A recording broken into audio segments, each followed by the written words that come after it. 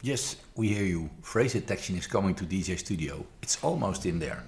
So for the people who looked at this little magnetic uh, thing over here, this is for snapping to our new phrases.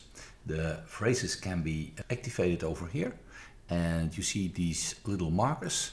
Once you start dragging, those markers light up and you can snap to these markers when you have switched on this magnet.